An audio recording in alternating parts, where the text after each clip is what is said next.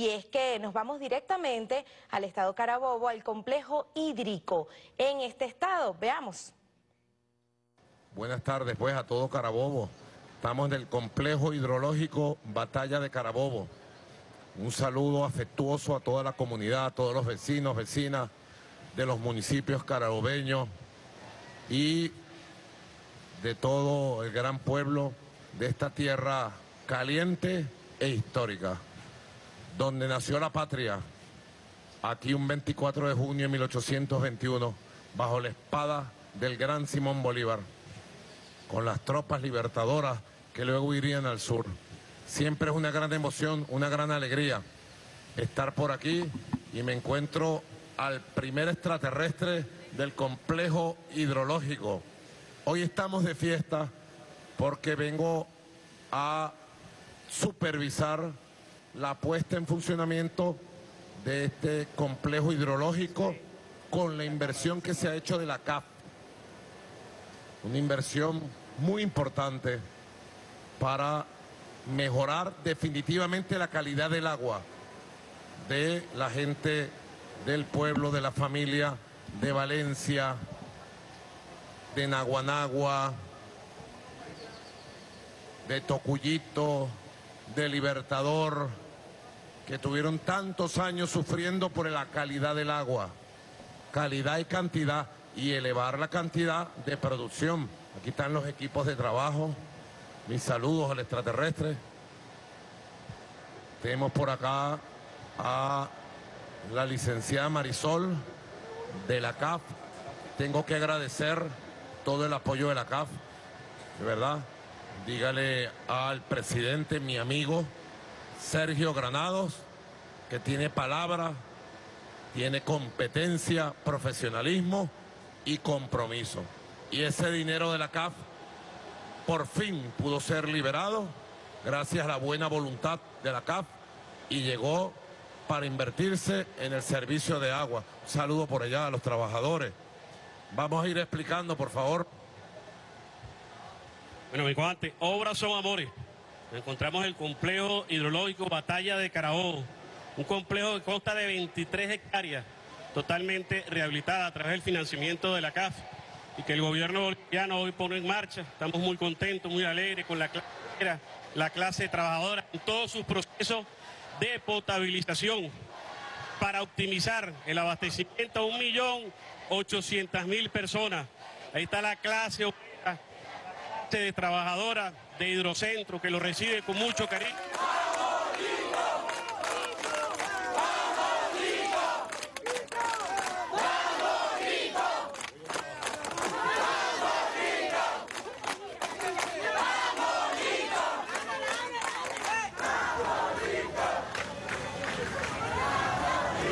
Podemos ver en estos momentos cómo el presidente constitucional de la República Bolivariana de Venezuela, Nicolás Maduro Moro, es recibido por los eh, trabajadores de esta importante hidrológica, un ambiente de júbilo, un ambiente de alegría y vemos cómo se abalanzaba a estos trabajadores que lo han recibido con bastante cariño en esta tarde de este jueves en la ciudad de Valencia.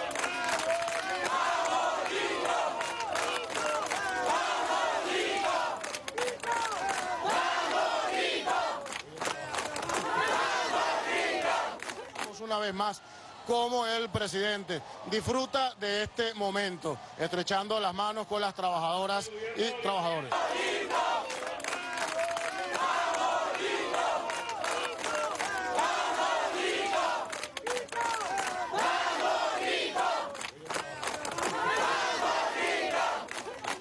Y el calor humano, que a veces es más poderoso que el calor y la energía del sol, porque es el fuego sagrado que llevamos aquí adentro ese fuego sagrado que lo ilumina todo. Te puede agarrar un carbón y ese carbón está ahí, inerte, ¿verdad? Pero si ese carbón que está inerte, apagado, oscuro, usted lo pone bajo el fuego sagrado, ese, ese carbón también da fuego, da fuerza y toma vida. Así somos nosotros. Vamos con el fuego sagrado, prendiendo el fuego sagrado de todo aquel que lo tiene apagado. ¿Ah? Con la palabra, con la oración, con las bendiciones de Dios, con buena voluntad. Construir obras como esta es dar bienestar. Al final, los trabajadores las trabajadoras, ¿cuál es su satisfacción más profunda? La calidad del agua de la gente de Valencia, Nagua Nagua, Tocuyito, Los Guayos, y aumentar la capacidad. Con las sanciones, licenciada Marisol, llegaron como misiles las sanciones. Nos subestimaron. Creyeron que nosotros nos íbamos a cobardar, nos íbamos a rendir, íbamos a retroceder. Aquí no hay cobarde. Aquí nadie iba a retroceder. Nos han subestimado más de 200 años. Subestimaron el ejército libertador que salió de aquí y llegó a Pichincha, allá donde nació Marisol, en las faldas de la montaña del Pichincha, allá en Quito, ciudad hermosa. Subestimaron a Bolívar, porque era pequeño, de este tamaño, unos 50, flaquito. Y dijeron, es un loco, lo llamaban el loco. El loco. Agarren su loco, pues. ¿Mm? Miran la historia que hizo el gran Simón Bolívar. Y nos han subestimado a nosotros. No importa. Que ellos subestimen. Y nosotros a lo nuestro, a trabajar, a accionar, a construir. Y a unir a la gente que deje que nosotros le toquemos el corazón y prendamos su llama sagrada también. La gente que odia o la gente que está apagada no sabe lo que es la belleza de la vida cuando tiene la llama sagrada encendida y ama la patria y ama lo que hace y quiere vivir y tiene la energía para tragarse el mundo. Así que nos subestimaron, nos lanzaron 930 sanciones. No nos vendían ni un repuesto, ni uno. Ni uno. Si íbamos a comprar unos filtros, ni un filtro. Si íbamos a comprar algún componente químico, ninguno. Y tuvimos que rehacernos, reorganizarnos. Pasamos roncha, durísima. Y fuimos, mira, echando las bases para recuperarnos poco a poco, sin perder la calma, con paciencia, con mano firme y paso a paso, poco a poco, lo hemos ido logrando y lo que viene para Venezuela es grande, ¿oyeron? Lo que viene es lo mejor, porque ya aprendimos a hacer muchísimo con poco. Aprendimos. Aprendimos a hacer muchísimo. No, no, no, no, no, con poco no, con nada. Ustedes saben que un día para otro, licenciada, a usted le quiten el 99% del ingreso. 99. De un año a otro. De 54 mil millones de dólares, 56 mil que ingresó el año, al otro año 700 millones. Y aquí no se cerró una escuela, un CDI, una universidad. ¿Ah? Como hace mi ley en Argentina, que dice no hay plata, saca la motosierra y le pasa y vota 300 mil trabajadores. Si ustedes fueran argentinos, ya estuvieran votados por mi ley. Eso es lo que quiere Venezuela. El ese es el capitalismo salvaje.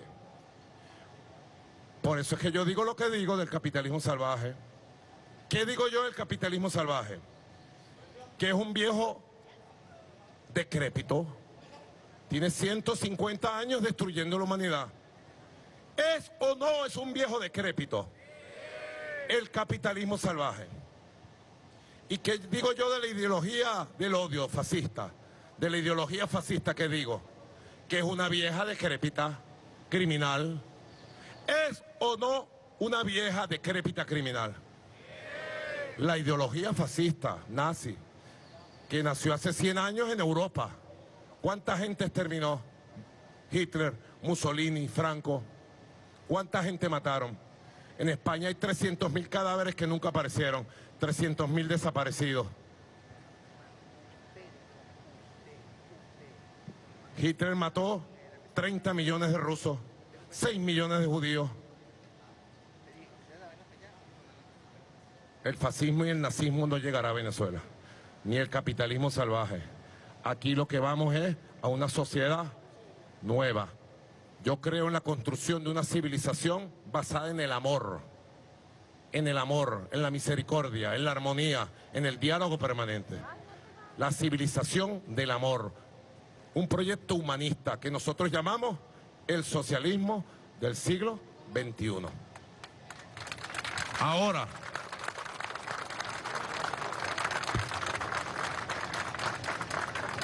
todo esto se aceleró gracias al presidente de la CAF. Por favor, transmítale, doctora María Barrera, asesora senior de la CAF. Transmítale el personal de la CAF.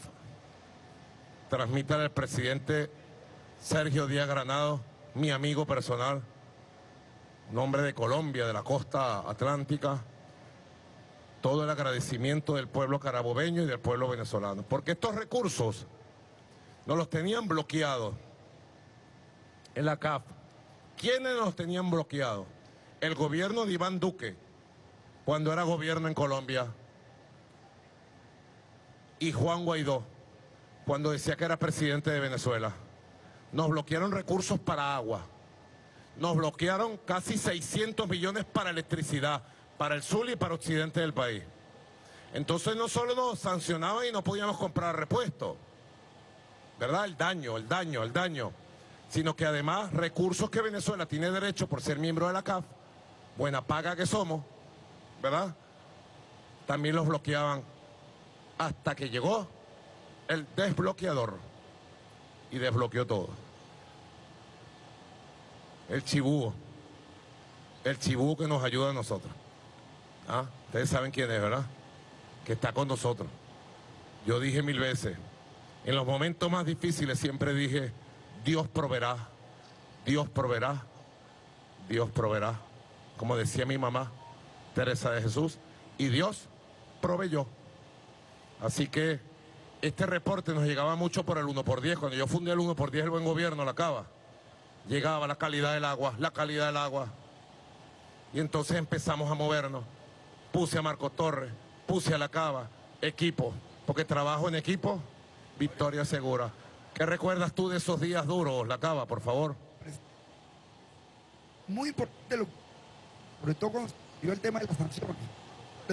Cuando usted convocó aquella mesa de diálogo. Está llegando Jorge Rodríguez, presidente de la Asamblea Nacional. Saludo aquí al presidente de la Asamblea Nacional.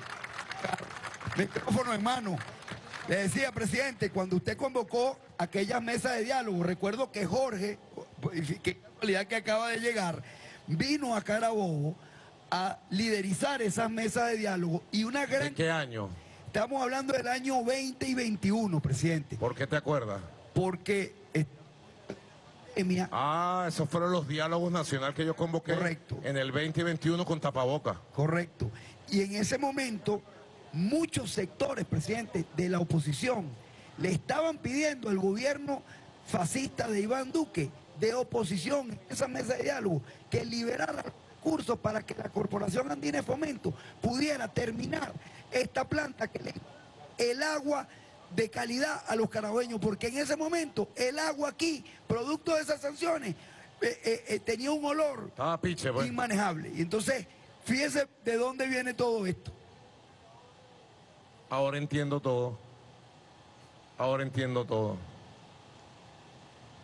Por eso es clave trabajar. Trabajar. Y dialogar ampliamente. Yo por eso ayer anuncié desde Barina una guarada de acto en Barina. Impresionante. Yo dije, el pueblo de Barina le metió medio guarinello al fascismo que se apareció por allá.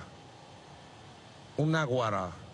Y yo anuncié que el primer decreto presidencial que voy a firmar el 29 de julio a las 12 en punto del mediodía, sentado en la silla presidencial en el Palacio de Miraflores, va a ser convocar al gran diálogo nacional, económico, social, cultural y político.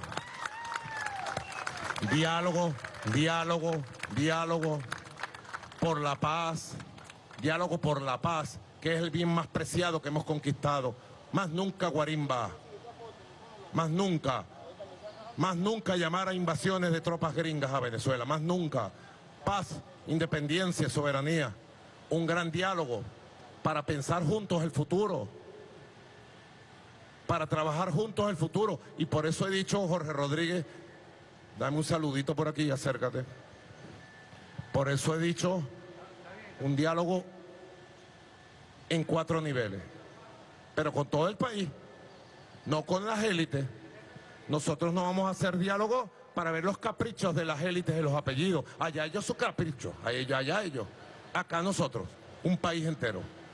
Un país que quiere paz, armonía, que no vuelva la intolerancia en el odio, que no vuelva el enfrentamiento fratricida entre venezolanos. No, ese tiempo no puede volver. El tiempo del odio lo dejamos atrás y atrás debe quedar sepultado para siempre el tiempo del odio, el tiempo de la intolerancia, el enfrentamiento.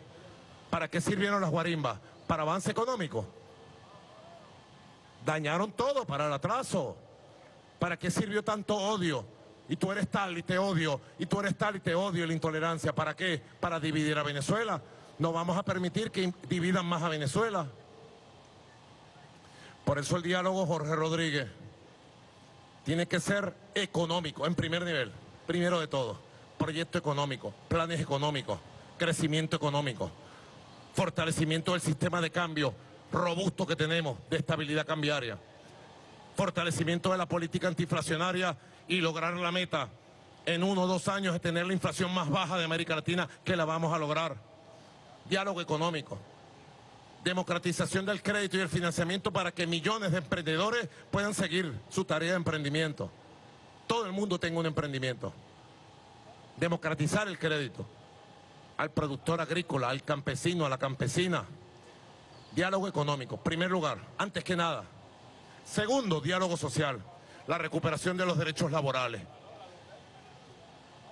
de los ingresos, la recuperación de todos los derechos sociales el fortalecimiento de la salud pública, de la educación pública, de la vivienda, diálogo social en segundo lugar. Las dos prioridades de los venezolanos y venezolanas, de verdad, donde tenemos que concentrarnos. ¿Es posible avanzar en la economía y lo social con guarimbas y violencia? Con odio e intolerancia, con enfrentamiento, insultándonos entre los venezolanos. Tercer nivel del diálogo, clave se lo digo a las madres, también a los padres, a las abuelas y a los abuelos. Silvia y yo tenemos cinco nietos y diez nietas. Sabemos lo que ser abuelo y abuela. La cosa más bella que ustedes se puedan imaginar. El tercer nivel del diálogo es cultural, moral, espiritual nuestra identidad nacional, el futuro de nuestros valores.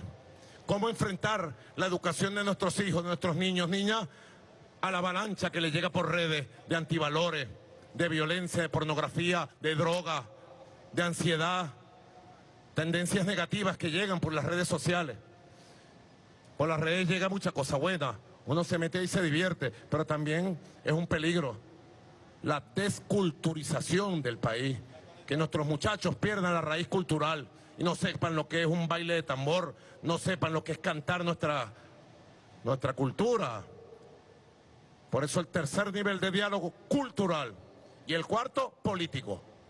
Pero no es político con las élites, político con el ciudadano, la ciudadana, el futuro de la democracia venezolana puesta sobre la mesa y que todo el país opine el camino de la democracia y la libertad. Jorge. Muchas gracias, presidente. Viendo el, viendo el nivel de esta obra maravillosa que usted está inaugurando hoy aquí, entiendo por qué muchas personas en el exterior e incluso aquí en Venezuela hablan de un verdadero milagro. Porque la intención real fue exterminarnos, aniquilarnos, doblegarnos, dejarnos sin agua, dejarnos sin alimentos, dejarnos sin medicamentos, sin salud, sin educación. Fue un plan que fue absolutamente orquestado eh, desde el gobierno de Donald Trump y que fue aplicado, instrumentado y solicitado por estos sectores de la extrema derecha que tienen el descaro. Los que pidieron sanciones ahora piden votos. Los que pidieron invasiones ahora piden votos. Los que pidieron que se doblegara la población de hambre, de, de dificultades para llegar a la salud, al agua, ahorita están pidiendo votos de la gente. Esa situación ahorita parece milagrosa, porque hubo gente que pensaría que no teníamos salida, que no íbamos a poder avanzar en los años como el 17, el 19. El 17 hubo una violencia brutal en las calles de Venezuela y el presidente Maduro lo resolvió convocando a un gran diálogo que fue la constituyente. La Asamblea Constituyente es una forma de comunicación entre las venezolanas y los venezolanos y se acabó la violencia del año 17. Ahora, cuando instrumentaron la violencia, el presidente estableció dos mecanismos principales. Por un lado, el diálogo fecundo, productivo, y por otro lado, que nosotros nos fajáramos a producir, que nos fajáramos a inventar que nos fajáramos y avanzáramos, que nos diéramos el agua, que produjéramos los alimentos, que produjéramos los medicamentos y ese es el verdadero milagro que ahora ocurre. Venezuela está no solamente recuperada en su economía, en sus finanzas, en todo el proceso de infraestructura, sino que se apuntala hacia una verdadera prosperidad. Tuvimos que pasar las que pasamos, avanzar como avanzamos para poder catapultarnos hacia el futuro. Y ahora viene otra vez la misma amenaza de la violencia, porque hay sectores que no están haciendo campaña electoral. Hay sectores que ya están cantando fraude. Imagínense ustedes, ¿quién, ¿quién tranca una mano segura? Nosotros no trancamos la mano porque la tenemos segura. Mano ganada no se tranca.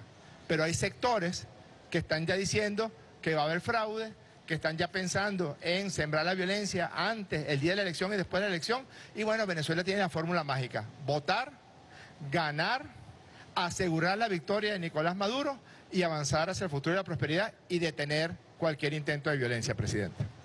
Habla bonito, bueno, un aplauso. Bueno, vamos a proceder. Después de que procedamos, yo quiero caminar un rato para ver las piscinas. ¿Por qué por allá y no por acá? ¿Ah? Sí, establecido protocolarmente. Ah, técnicamente para que se escuche. Después que yo devele la placa de recuerdo a esta obra para mejorar la calidad y elevar la cantidad de agua que se le envía a importantes municipios de Carabobo, yo voy a recorrer un rato, nos tomamos una foto, yo me voy y ustedes quedan libres para celebrar. Tienen permiso hasta mañana. Bolívar, mira, María, Bolívar decía que todas las victorias hay que celebrarlas. Por eso Bolívar cuando entró a Quito hizo un baile. No se bailaba salsa entonces, ni reggaetón. Se bailaba minué, ¿qué se llama? Un paso así, una cosa así. Una especie de bal bailaba Bolívar. Facilita. Bolívar era un gran bailador y estaba en Quito en pleno baile y de repente volteó a la puerta y entró ella. Ella lo vio. Él la vio. Era Manuela Sáenz y se unieron para siempre, hasta más allá de la vida que les tocó. Simón Bolívar y Manuela Sáenz. Una historia hermosa de amor. Bueno, en nombre de ellos y de ellas, vamos aquí, si me ayuda, licenciada María, gracias a la CAF, gracias a los trabajadores y trabajadoras, vamos a develar la placa conmemorativa de este complejo ideológico Batalla de Carabobo totalmente actualizado, reparado, recuperado. Muchas gracias.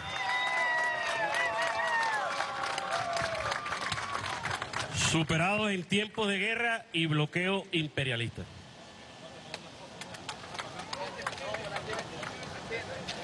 En estos momentos hemos visto cómo el presidente constitucional de la República Bolivariana de Venezuela hizo la develación formal de este importante lugar en el que nos encontramos. Hablamos de la entrega completamente rehabilitada y modernizada de la planta potabilizadora, complejo hidrológico Batalla de Carabobo. Vemos cómo en estos momentos comparte con los trabajadores y trabajadoras.